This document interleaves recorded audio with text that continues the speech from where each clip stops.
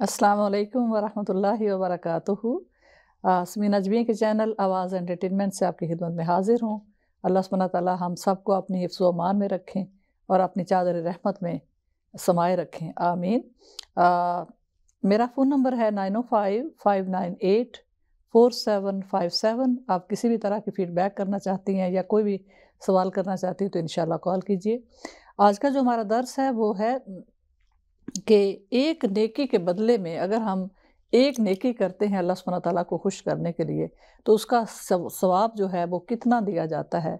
क्या एक नेकी के बदले हमें एक नेकी मिलती है या कुछ मामला कुछ और है? सुबहान अल्लाह तो हम जानेंगे, सूरत अल इनाम की आयत है और आयत नंबर है 160 160 आपके सामने तिलावत करूँगी और इसी की तफसीर होगी। आमीन। आऊज़बिल्लिमिनशैताजीम बिस्मिल्लाहिर्रहमानिर्रहीम सुबहान अल्लाह व बिहमदिही अदद खल्किही वरिदा नफ्सिही वजीना तारशही वमिदाद कलिमात अल्लाहुम्मा सल्ले अला सय्यदिना मोहम्मद व आला आली सय्यदिना मोहम्मद व बारिक वसलिम तस्लीमा। रब्बी शरह सदरी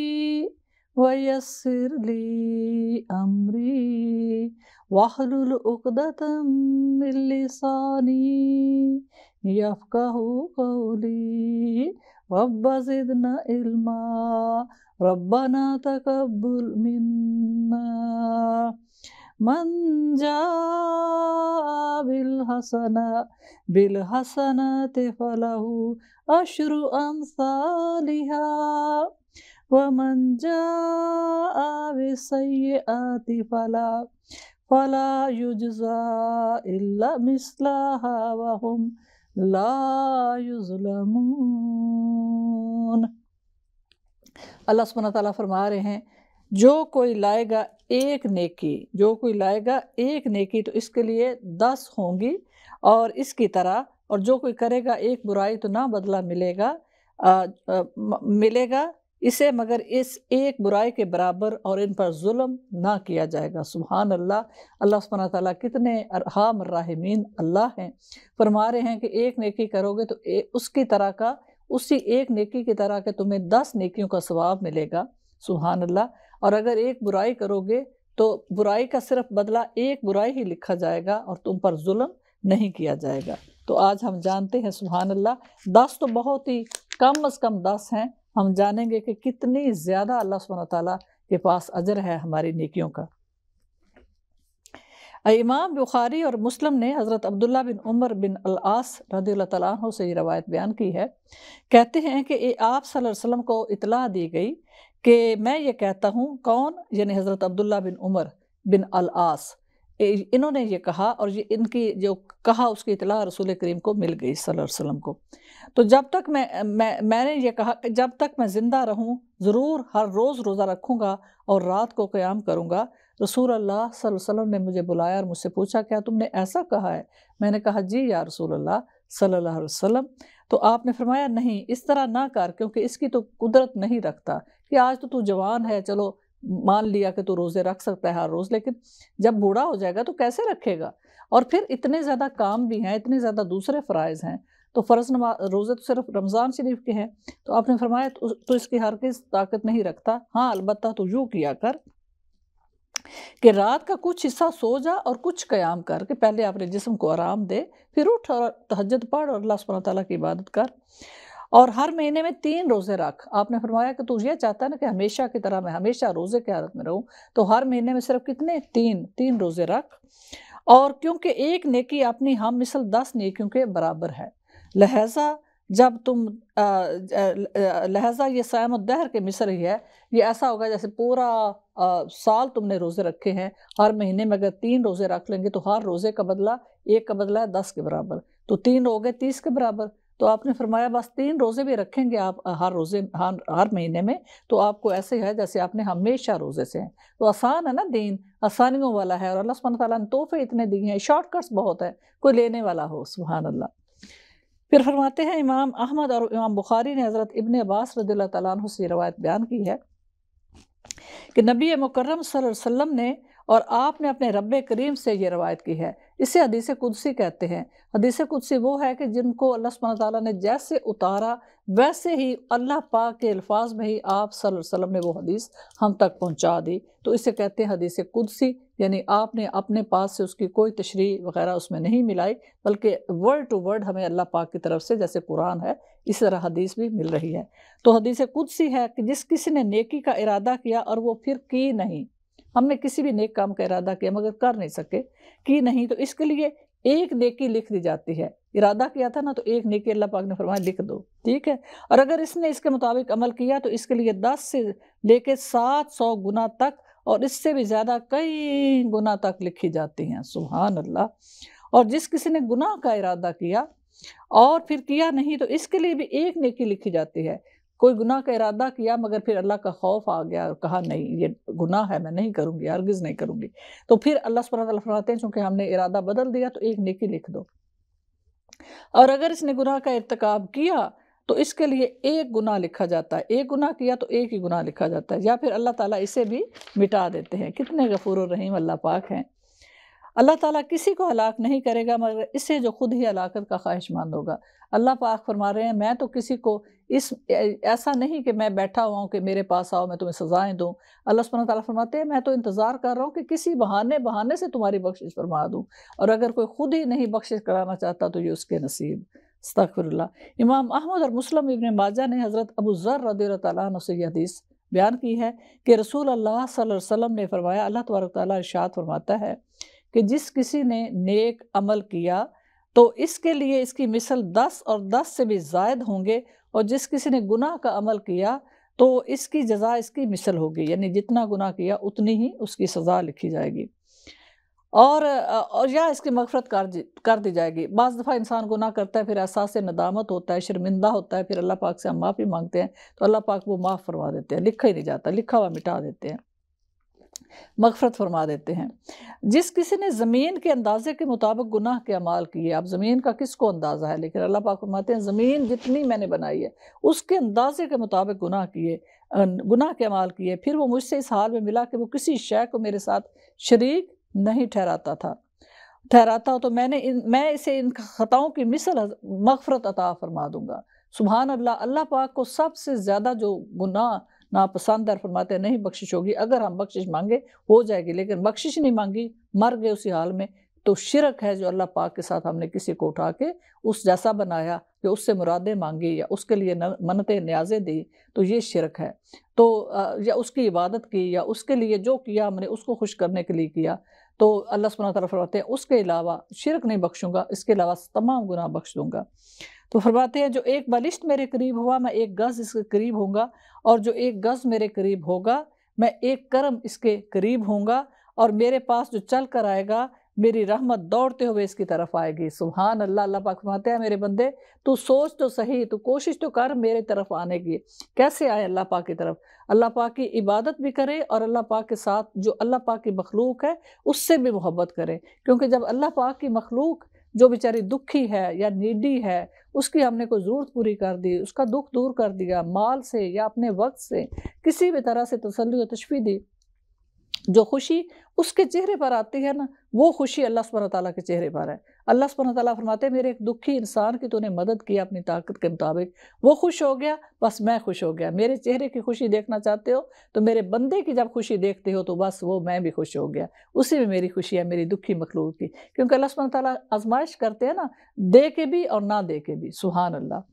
फिर फरमाते इमाम तबरानी रहमत नज़रत अबू मालिक अशर हदीस नकल की है कि उन्होंने कहा, रसूल करीम सल्लल्लाहु अलैहि वसल्लम ने फरमाया कि एक जुमा अपने दूसरे जुमा के दरमियानी अयाम में होने वाले गुनाहों का कुफारा हो जाता है और इसमें तीन दिन जायद हैं क्योंकि अल्लाह ताला ने शाद फरमाया, मन जा बिल हसनाती, फ़लाह अशरा अमसालिहा यानी जुम्मे के जुमा तो आठ दिन बनते हैं तीन दिन ज़्यादा के दस दिन पूरे हमें चाहिए। तो अल्लाह सुबहाना ताला फरमाते हैं कि दस दिन की जो जुमा के ले से, लेके दूसरे जुमे तक, उसके दिनों में जो भी गुनाह हुए, जब जुम्मा पढ़ पढ़ लिया या घर में हमने औरतों ने नमाज़ ज़ोर पढ़ ली तो अल्लाह सुबहाना ताला तीन दिन और भी उसमें डाल के तो दस दिनों के गुनाह माफ़ फरमा देते हैं। इमाम अहमद रहमत ने बयान किया कि हज़रत इबन मसूद रदी अल्लाह तहों ने बयान किया कि रसूल अल्लाह वसल्लम ने इरशाद फरमाया कि अल्लाह ताला ने इब्ने आदम की एक नेकी का बदल इसकी मिसल दस से लेकर सात सौ गुना तक बनाया है, मगर रोज़े के बारे फरमाया, रोज़ा मेरे लिए है और इस, और इसकी जजा मैं खुद देता हूँ। अच्छा नफली रोज़ों की तो अल्लाह सुबहाना ताला ने हमें बता दिया हुआ है, जैसे रजब के रोज़े, शवाल के रोज़े, बहुत ज़्यादा सवाब है। लेकिन इतनी ज़्यादा फजीलत रजब के रोज़ों की है और आज आजकल रजब का महीना चल रहा है सुबह अल्लाह। हम चाहेंगे इन रजब का दर्स भी हम इन ज़रूर आपको सुनाएँगे। कि जो भी चाहे रोज़ा रख ले बहुत ज़्यादा सवाब है। और आ, लेकिन रमज़ान के रोज़ों की जो है ना फजीलत वो अल्लाह सुबह ताली नहीं बताई तो अल्लाह सुबह ताली फरमाते हैं कि वो मैं तुम्हें ज़रूरत नहीं तुम हमारी समझ से बाहर है रमज़ान के रोज़ों की फजीलत। इसलिए अल्लाह ताला फरमाते हैं मैं जब मेरे से मुलाकात मेरा बंदा या बंदी करेंगे तो वो देख लेंगे कि रोज़े की मैंने क्या उनको अजर उनके लिए तैयार कर रखे हैं। या फिर जब वो जन्नतों में जाएँगे तो सुबह अल्लाह जन्नतों में आके रिवॉर्ड देखेंगे मैदान मैशर में रिवॉर्ड देखेंगे रोज़े का तो फरमाते हैं, इसकी जजा भी मैं हूँ। मेरे लिए ना रोज़ा, इसकी जजा भी मैं हूँ। तुम्हारी समझ से बाहर है इसका सवाब सुबहान अल्लाह अच्छा सात सौ गुना की जो मिसाल है, ये ऐसे है जैसे अल्लाह पाक सूरत अलबकरा में मिसाल देते हैं कि एक दाना तुम बोते हो, गंदम का ही ले लें, या जाओ या कोई भी, एक दाना गंदम का समझो हमने बोया खेत में, और जब वो कोम्पल फूटती है, फिर एक बड़ी से, बड़ी सी टहनी बन जाती है, और उस टहनी के साथ सात सिट्टे बन जाते हैं, और हर सिट्टे में सौ दाने हों। तो अल्लाह पाक फरमाते हैं, तुमने तो एक दाना बोया था, उसके बदले में कितने मैंने तुझे दिए वापस? सात सौ। सात सौ दाने दिए एक दाने के बदले। तो सुबहान अल्लाह इसी तरह अल्लाह पाक फरमाते हैं कि जो नेकी करोगे तो मैं डिपेंड करता है हमारा उस नेकी में खलूस कितना था, हमने कितनी मेहनत की अपने परवरदिगार को राज़ी करने के लिए। तो अल्लाह पाक से बढ़कर कोई कदरदान नहीं। ये बात हमें याद रखनी चाहिए कि अल्लाह सुबह ताली शकूर है, कदरदान है, उनसे बढ़कर कोई कदर करने वाला नहीं। तो फरमाते हैं, एक नेकी करोगे तो सात सौ गुना तक उसका मैं अजर दूँगा। सुबहान अल्लाह सुबहान अल्लाह फिर फरमाते इमाम इबन शिबर हज़रत अबू अबैदा बिन जरा रदी अल्लाह तहों से यह हदीस नकल किया कि रसूल अल्लाह सल्लल्लाहु अलैहि वसल्लम ने फरमाया, जिसने जिसने किसी मरीज़ की अयादत की या रास्ते से तकलीफ़ दे चीज़ को दूर कर दिया तो इसके लिए एक नेकी का बदला इसकी मिसल दस नेकियाँ होंगी। जब हम किसी मरीज़ की अयादत करते हैं, चाहे फ़ोन करके पता कर लेते हैं, या हम जा रहे थे, जैसे एक शॉपिंग ट्रॉली है, हमने शॉपिंग की तो उस शॉपिंग ट्रॉली को वापस वहाँ पर जहाँ उन्होंने बनाया होता है, उसका बूथ वहाँ पर डाल दिया ताकि कोई और ये गाड़ी किसी को ना टकराए या कोई पार्किंग स्पॉट ही हम ज़ाया ना करें कि सामने हमने ट्राली वहीं छोड़ी और चले आए। तो ये बात है कि और रास्ते में कुछ चीज़ ऐसी पड़ी कि कुछ छिलका गिरा हुआ है, हम समझते हैं कोई गिर जाएगा, उठा के फेंक दिया। तो ये बहुत बड़े स्वभाव की चीज़ें हैं, क्योंकि इंसान, किसी दूसरे इंसान का जो आने वाला ख़तरा था, वो इससे टल गया, जो हमने छोटी सी मेहनत की सुबहान अल्लाह इमाम तबरानी फरमाते हैं, इमाम तबरानी ने बयान किया कि हज़रत बिन मसूद रदी अल्लाह ने फरमाया कि कुरान की तालीम हासिल करो। क्या करो? कुरान की तालीम हासिल करो और इसकी तिलावत किया करो, क्योंकि तुम्हें इसके हर हरफ के बदले दस नेकियों का अजर दिया जाता है। कितना? दस नेकियाँ। दस नेकियों का अजर दिया जाता है और ख़बरदार, वो कहने लगे, ख़बरदार, मैंने ही ये कहता कि अलिफ, लाम, मीम, टोटल जो है उसमें दस नेकियाँ होंगी। बल्कि फरमाया, अलिफ पर दस नेकियाँ लाम पर दस नेकियाँ, मीम पर दस नेकियाँ। तो सुबहान अल्लाह ये तीस हो गई, क्योंकि अल्लाह ताला का इरशाद फरमाते हैं कि जो एक नेकी लाएगा, उसके बदले हम दस नेकियाँ अता फरमाएँगे। सुबहान अल्लाह मेरी बहन यहाँ पर मेरी बहनों और भाई जो भी सुन रहे हैं, मुझे याद आ गया कि बिसमीम उसके उन्नीस हरूफ हैं। एक हरफ के बदले में चार हज़ार नेकियाँ लिखी जाती हैं सुबहान अल्लाह और उन्नीस हरूफ को जब चार हज़ार से हम ज़रब दें तो वो छिहत्तर हज़ार सेवेंटी सिक्स थाउज़ेंड बनते हैं। सेवेंटी सिक्स थाउज़ेंड नेकियाँ सिर्फ़ हम बिस्मिल्लाहमान रहीम जब पढ़ते हैं तो उसका हमें मिल जाता है सवाब। कितनी सेल लगी हुई है, ज़बरदस्त सेल लगी हुई है, बस कोई लेने वाला हो सुहान अल्लाह इमाम इबन मरदूया नज़रत बहरा रदी अल्लाह तु से यह हदीस समय नकल की है। बयान की है कहते हैं कि रसूल करीम सल्लल्लाहु अलैहि वसल्लम ने फरमाया कि अल्लाह ताला के एक नेकी के बदले हज़ार हज़ार नेकियाँ अता फरमाते हैं। फिर आप सल्लल्लाहु अलैहि वसल्लम ने ये आयत पढ़ी, यानी डिपेंड करता है कि उस एक नेकी करने में जैसे मैंने अर्ज़ किया हमारा खलूस कितना था हमने कितनी मोहब्बत से अल्लाह पाक को खुश करने के लिए अल्लाह की मखलूक के साथ कोई नेकी की या अल्लाह ताला की इबादत की। दो ही चीज़ें हैं ना। या तो हम बर रास्त अल्लाह पाक की इबादत करते हैं, वो नफल इबादत करते हैं, फ़र्ज़ करते हैं कि अल्लाह पाक हमसे खुश हो जाए, या फिर हम उसकी मखलूक की खिदमत करते हैं। और यही मकसद है हमारा दुनिया में आने का। अल्लाह पाक की मखलूक हमसे खुश हो, अल्लाह सुबहाना ताला खुश हो गए सुबहान अल्लाह तो फरमाते हैं कि वो एक एक नेकी का हज़ार हज़ार नेकियाँ जो है अल्लाह सुबहाना ताला फरमाते हैं, यानी अल्लाह पाक के पास कोई कमी नहीं, सिर्फ़ चाहत होनी चाहिए और खलूस के साथ जो भी करे, उसमें दिखावा ना हो, अल्लाह पाक को खुश करने की नीयत हो। इमाम बाज़ार और बहकी ने हज़रत सुबान रदी अल्लाह से हदीस नकल की है। कहते हैं कि रसूल करीम सल्लल्लाहु अलैहि वसल्लम ने फरमाया कि एक महीना के रोज़ों के बदले दस महीनों के रोज़े हैं। जो रमज़ान शरीफ का रोज़ा जब हम रखते हैं ना एक महीना तो वो कितना हो गए हर एक का बदला दस है। तो फरमाया, तीस जब पूरे हो गए तो चूँकि वो हमने एक महीना रोज़े रखे तो एक महीना रोज़े का सवाब दस महीनों के बराबर है, ठीक है? सीधा सा हिसाब है, एक महीना दस महीनों के बराबर है। तो फरमाया, रोज़ों के बदले दस महीनों के रोज़े और इसके बाद छः दिन के रोज़ों के बदले दो महीनों के रोज़े अब शवाल में अगर हम छः रोज़े रख लें तो वो दो महीनों के बराबर हो गए, ठीक है? क्योंकि हर रोज़ा जो है दस दिनों के बराबर है तो दो महीने के, यानी साठ दिनों के बराबर हो गया।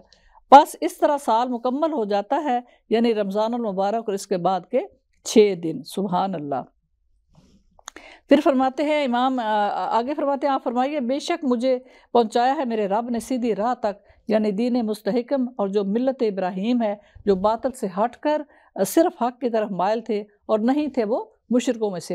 अच्छा नेकी का एक और भी बड़ा खूबसूरत हदीस पाक का मफहम बताती हूँ कि जो हम पढ़ते हैं ना कुरान करीम में, हमारे पास तो मज़ीद भी है यानी एक नेकी का बदला सात सौ दस से लेके दस कम अज़ कम है। फिर सात सौ गुना तक और फिर हज़ार हज़ार नेकियाँ मिलती हैं एक नेकी के बदले। लेकिन बाज़ दफ़ा अल्लाह सुना ताला फरमाते हैं, हमारे पास तो मज़ीद भी है। वो मज़ीद क्या होगा? उसकी एक जो हदीस पाक का है कि जन्नती जब जन्नतों में पहुँच जाएँगे तो अल्लाह सुना ताला की तरफ़ से आवाज़ आएगी ए मेरे बंदो, मेरी बंदियो, क्या तुम अपने अल्लाह से खुश हो? तो सब अर्ज़ करेंगे, परवरदिगार, हम बड़े खुश हैं, हम बहुत खुश हैं। फिर ख़ास तौर पर उस आदमी या उस औरत से अल्लाह पाक बर रास्त पूछेंगे। या हो सकता है सिर्फ़ एक टाइम पे एक से ही पूछें कि मेरी मेरी बंदी या मेरे बंदे तो खुश है मेरे से? तो वो कहेंगे, परवरदिगार, बेहद, मेरी तो बादशें खिल गई। इतना तो हमने कोई कभी सोचा भी नहीं था कि आप इतना इतना इनाम इकराम फरमाएँगे हमें अता। तो फरमाएँगे अच्छा मज़ीद कुछ चाहिए? तो बंदा या बंदी का एक परवरदिगार, अब क्या मैं मांगू? किस चीज़ की कमी है यहाँ पर? नेमतों की बरसात है, हर तरफ़ नेमते नेमते फैली हुई हैं। सुबह अल्लाह अब मैं क्या मांगू? तो अल्लाह पाक फरमाएँगे, पर्दे हट जाएँगे और अल्लाह सुबह तला फरमाएँगे, ले मेरा दीदार कर क्योंकि तू मुझे खुश देखना चाहती थी ना, या चाहता था तो आज जी भर के मेरा दीदार कर ले। और उस वक्त जब बंदा अपने रब का दीदार करेगा तो अल्लाह सुबहाना ताला के दीदार के सामने उस बहिश्त में जितनी नेमतें हैं, सब हीच लगेंगी। उनकी कोई वैल्यू नहीं लगेगी कि सबसे बेहतरीन जो रिवॉर्ड है, वो अल्लाह सुबहाना ताला का दीदार है। अल्लाह अल्लाह जालना मिन हम हमें भी उन खुश नसीबों में शामिल फरमा दे। इमाम अहमद और अबू शेख ने हज़रत इबन अबजी रहमत से और उन्होंने अपने बाप से यह कौल नकल किया कि रसूल करीम वसल्लम जब सुबह करते तो फरमाते, हमने फितरत इस्लाम और कलमा अखलास पर सुबह की और हमने अपने नबी मोहम्मद वसल्लम के दीन पर और अपने बाप इब्राहीम अलैहिस्सलाम की मिल्लत पर, जो बातल से हटकर सिर्फ़ हक की तरफ़ मायल थे और वो मुशरकिन में से नहीं थे और जब शाम होती थी, फिर भी आप इस तरह कहते। अच्छा आगे ये जो आयत है कुल इन्ना सलाती व नुसुकी व महया व ममाती रब्बिल आलमीन, ला शरीक लहू व बिज़ालिका मृत्यु वाना अव्वल अव्वल मुस्लिमीन। बड़ी प्यारी आयत है। कुरान करीम का निचोड़ है और तोहीद का निचोड़ है। तोहीद से माला माल ये आयत है। आप फरमाइए, बेशक मेरी नमाज़ और मेरी कुर्बानियाँ और मेरा जीना और मेरा मरना वास्ते है अल्लाह ताला के लिए और जो रब है सारे जहानों का और उस, उस उस और उसका कोई शरीक नहीं।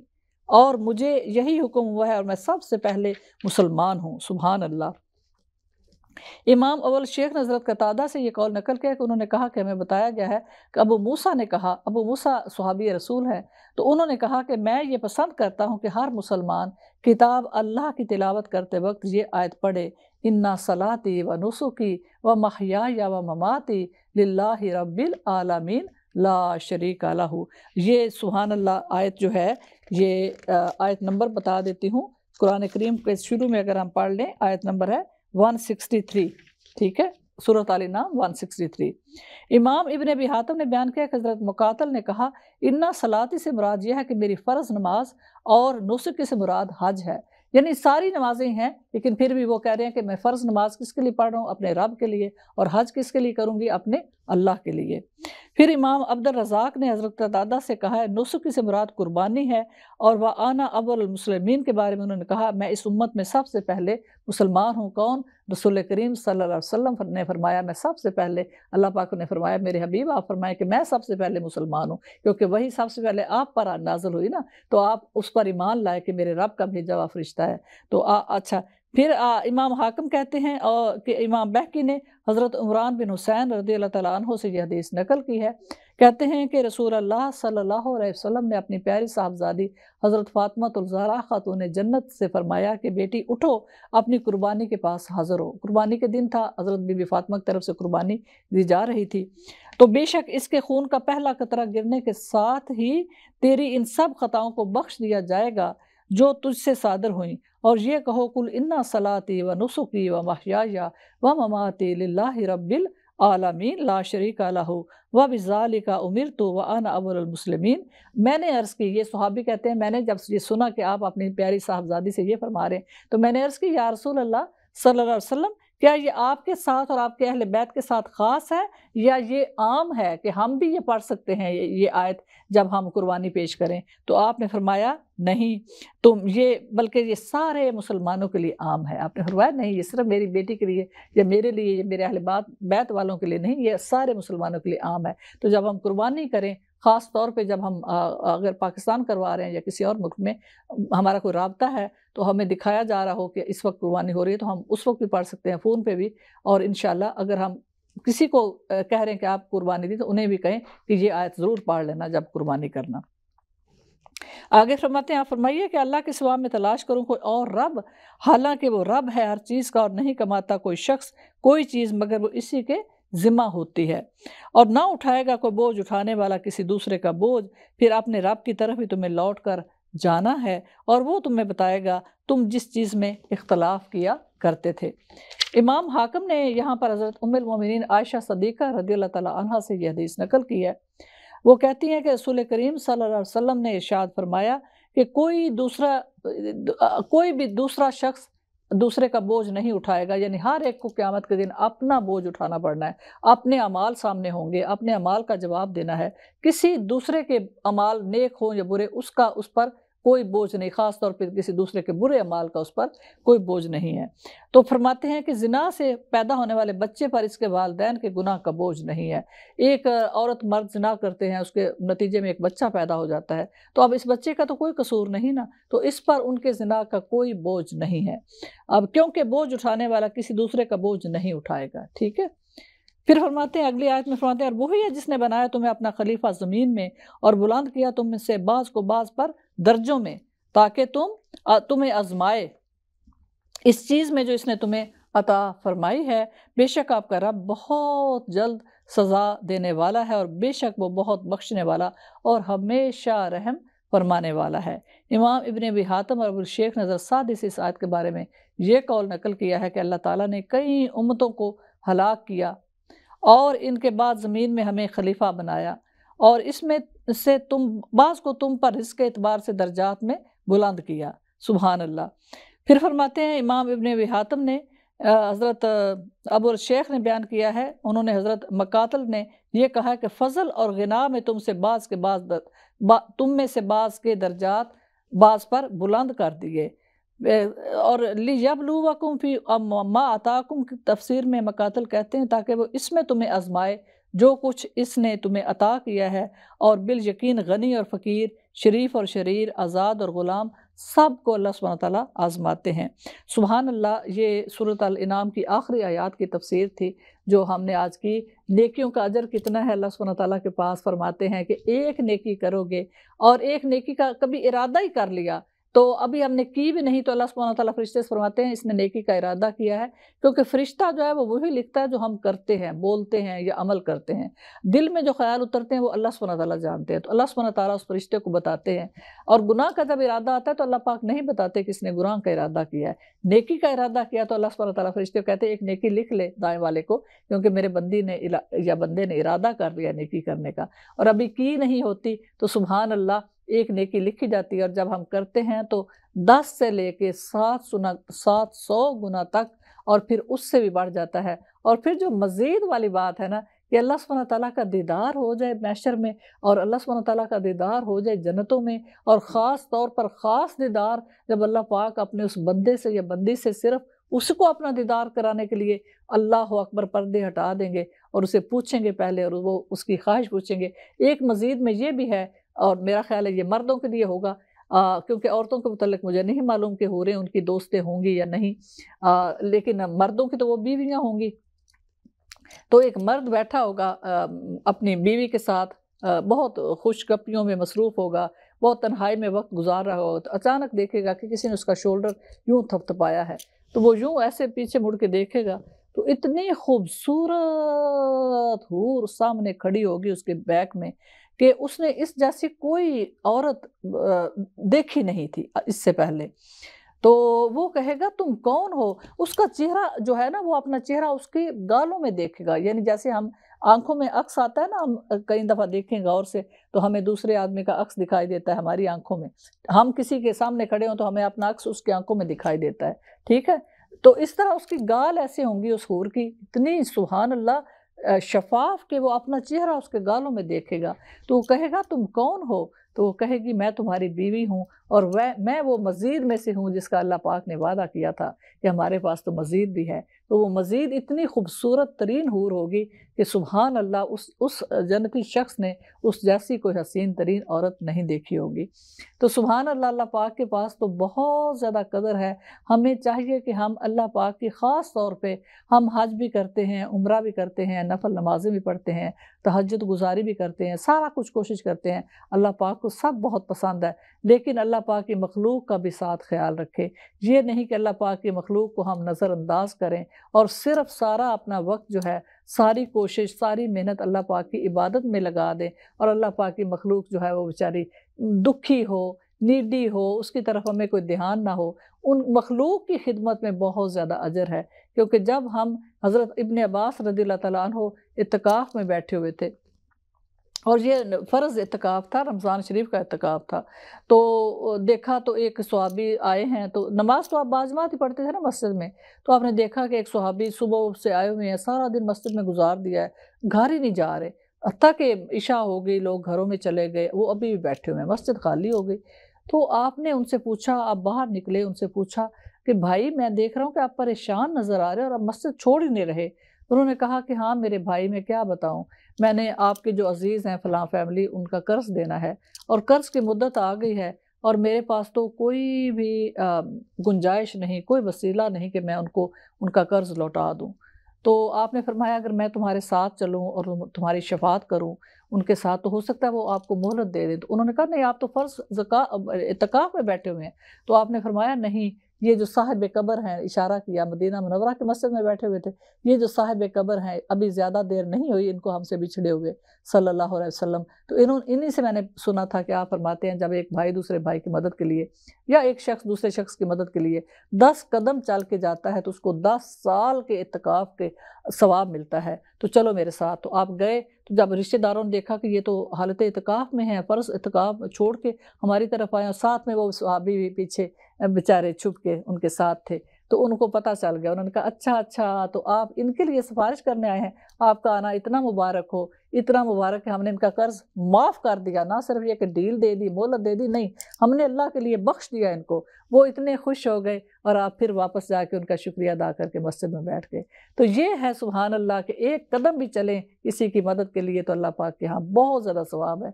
सुबहान रबी का रबिल इज़्ज़ती अम्मा यासिफून वसलामुन अलल मुरसलीन वल्हम्दुलिल्लाहि रब्बिल आलमीन व आखिर दावाना वलिल्हम्दुलिल्लाहि रब्बिल आलमीन